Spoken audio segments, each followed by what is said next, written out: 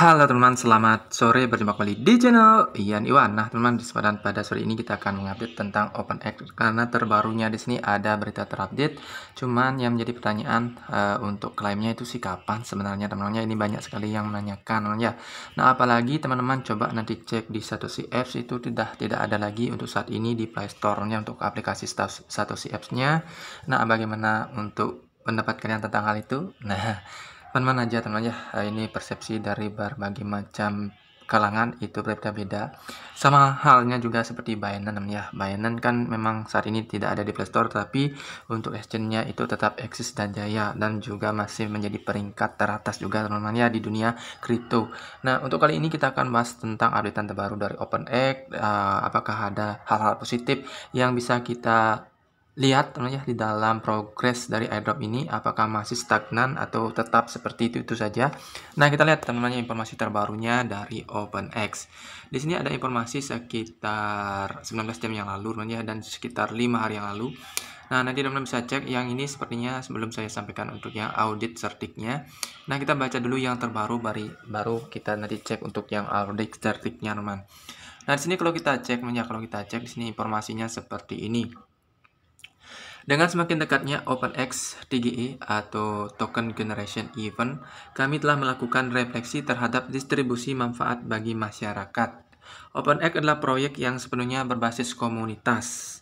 Namun, memenuhi persyaratan pencatatan bursa atau listing misalnya namanya tier tier pertama utama sering kali memerlukan dukungan signifikan dari investor institusional. Jadi investor kelembagaan. Nah, temannya jadi kalau misalnya eh, dia ingin di exchange nomor satu misalnya ya itu maksudnya itu perlu dukungan dari investor. Investor ya perlu dukungan dari investor perusahaan investor atau bagaimana namanya. Maksudnya ini eh, perusahaan yang besar atau bagaimana. Nah hal ini terkadang dapat bertentangan dengan kepentingan masyarakat. Ini kan karena berbasis komunitas sebenarnya jadi ini kan kadang-kadang bertentangan katanya. Nah secara kebetulan Binance baru saja merilis artikel tentang topik ini. Nah kami ingin mendengar pendapat Anda Web community masukan Anda akan sangat berdampak pada pengembangan proyek kami di masa depan. Nah, saya tidak akan membuka hal itu, nanti kalian buka saja di sini karena uh, sepertinya di sini panjang sekali. Tapi kita coba cek apakah inti penting yang ada di sini ya, yang mungkin nanti kalian bisa cek di binance.com ini. Kalau tidak bisa uh, lewat buka kalian lewat uh, gini uh, seperti ini sinyal biasa ini sepertinya pakai VPN ya. Nah intinya jika kalian ingin melihat di sini tampilannya tadi saya, saya sudah buka ya.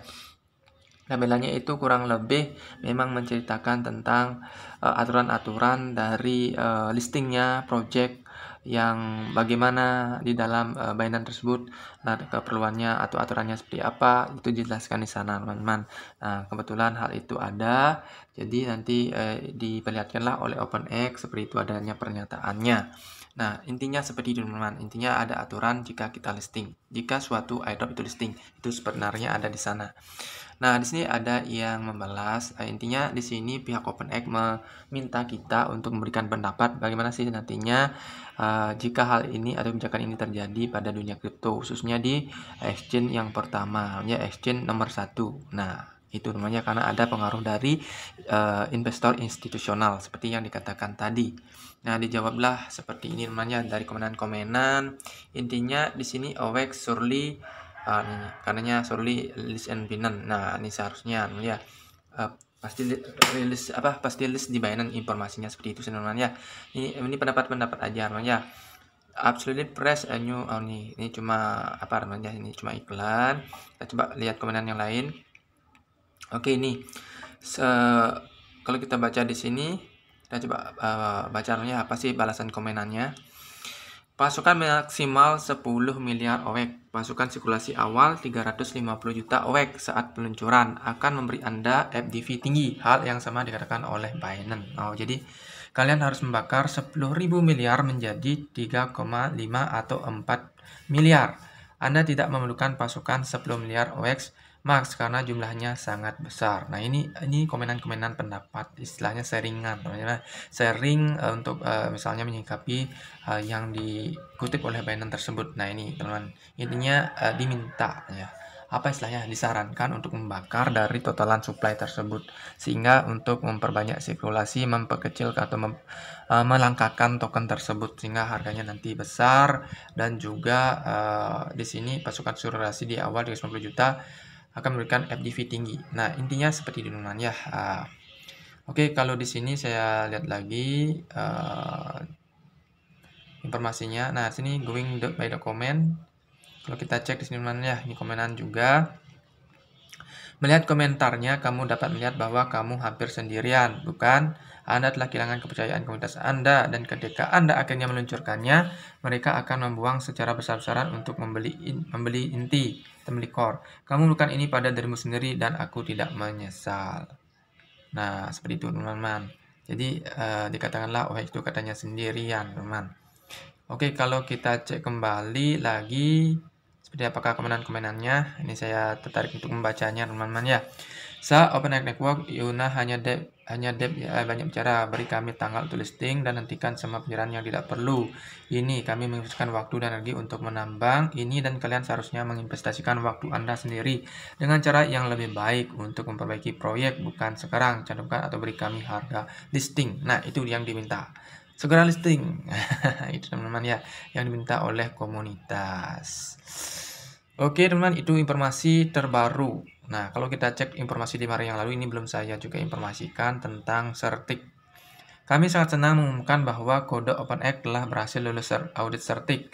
Sebagian besar kode kami dikembangkan oleh Agik yang mencapai standar kualitas tinggi. Hal ini menandai komitmen kami dalam mempersiapkan era AGI.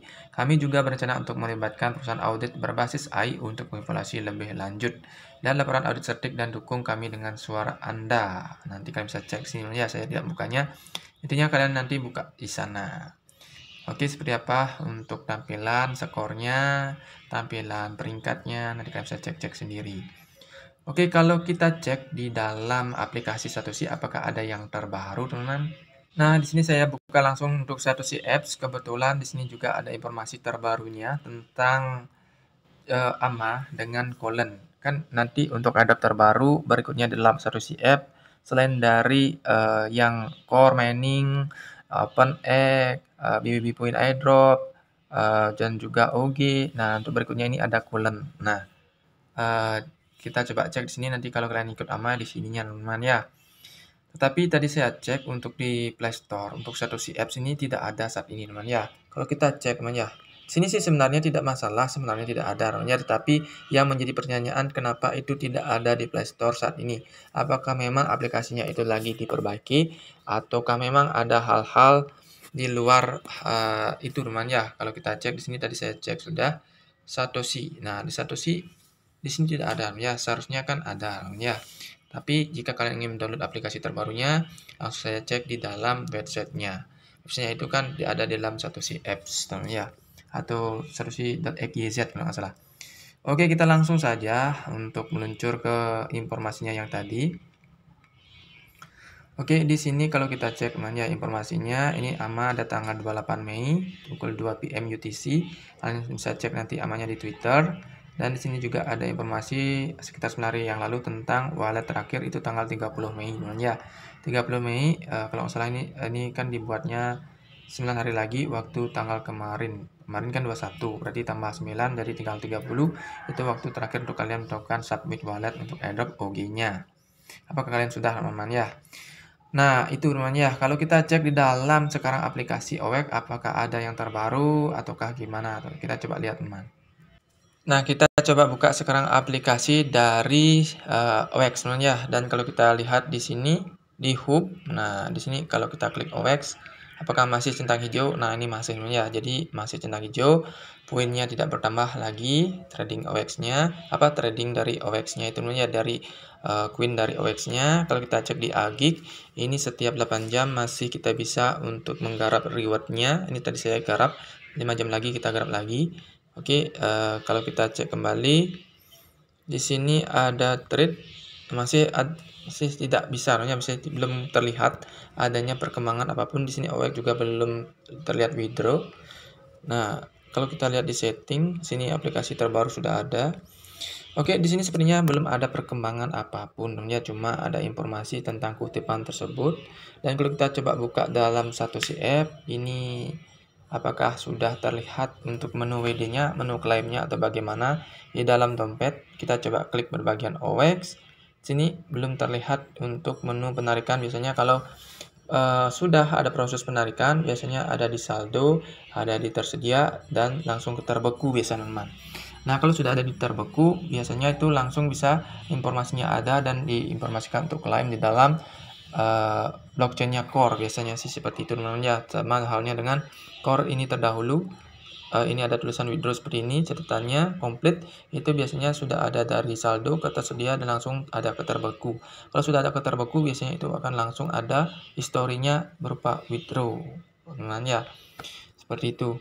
Dan kalau di sini di OG ini masih kita bisa mengikat sampai dengan tanggal 30 Mei. Nah, itu sudah diperingatkan tadi di dalam Twitternya. Nah, untuk airdrop colon itu sepertinya teman-teman uh, mengeceknya di tanggal 25 ya.